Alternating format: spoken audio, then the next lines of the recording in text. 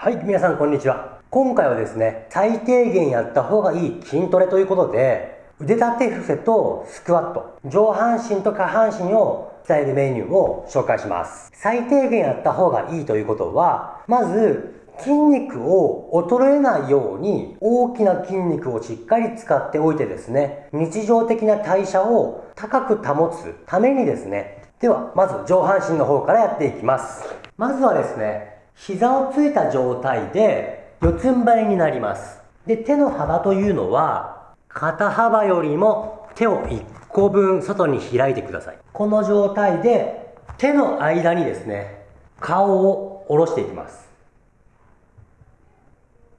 で、上がります。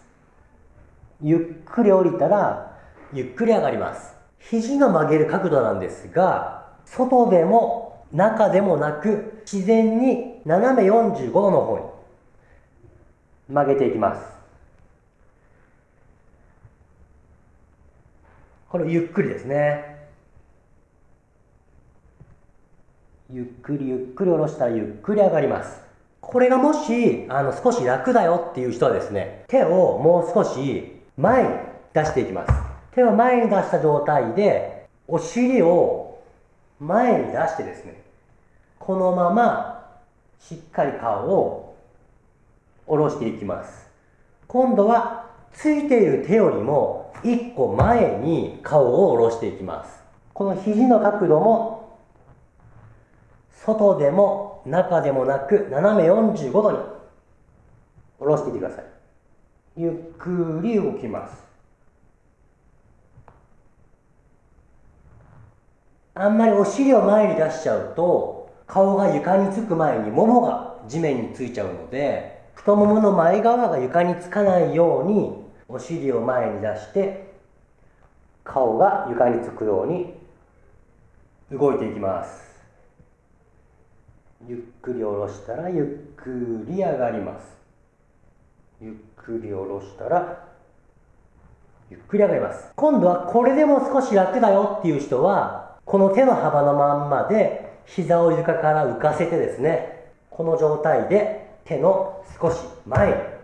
顔を下ろしていく感じでゆっくり降りていってゆっくり上がりますこういった感じです。というふうにやっていきましょう。今のが腕立て伏せを行っていく動作です。3種類紹介したんですが、初級、中級、上級というふうに今の分かれてますので、皆さんの筋力に合った今の3種類を組み合わせてやってみてください。で、今のはですね、できる回数というのをだいたい3セット。できる回数というのは、ここから上がれなくなってきてバタンという風になってきたのを1セットと考えてください。なので1セット目よりは2セット目の方が回数が減るとは思いますができる回数を3セット行ってみてください。で今度はスクワットになるんですが、はい、今度はスクワットになるんですがいろんなスクワットがありますが今回は最低限ということに着目してますので足の幅を肩幅よりも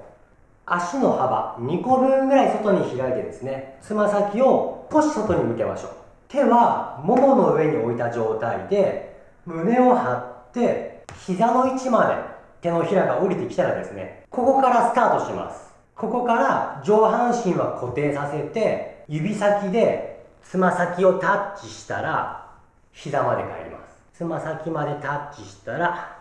膝に帰ります。これを上半身だけで行わないようにですね上半身は胸を張ったままでお尻を少し突き出す感じでこのまま上半身を動かないように膝の皿を触ったまま手を滑らしながらつま先にタッチ。このまま膝に戻ります。この動作をですねゆっくりゆっくりこれぐらいのペースでできるだけゆっくりですね。上半身が前かがみにならないように行ってください。はいお疲れ様でした。今みたいな動作ですね。上半身は3種類。これは力の能力に合わせて初級中級上級という風にですね分けて疲れるまでというのを3セット行ってください。でスクワットは今みたいに上半身が動かないようにしっかりしゃがんでですね膝を触ったところからスタートで指先までゆっくり滑らしながら降りていきます。指先をタッチしたら膝まで戻ります。というのをゆっくり10回というのを3セット。行ってみてください。でこの3セットずつ行う頻度なんですが最低限ということなので最低週2回。できれば週3回行ってください。3日連続ではなくって2日起きとかに3回ですね。行うのがベストです。ぜひこれで毎日代謝を高く保ってですね太りにくい体質にならないように心がけてみてください。ご視聴ありがとうございました。